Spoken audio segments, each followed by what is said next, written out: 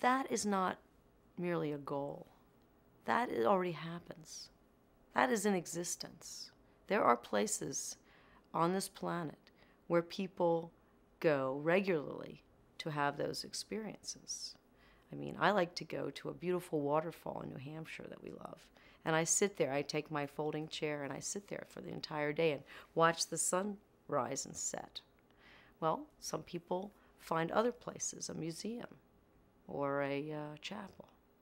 And I recommend that. I think that's a beautiful place to have those experiences.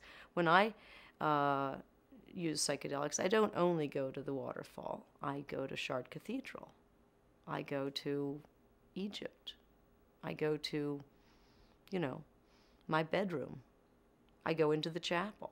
So it's happening already.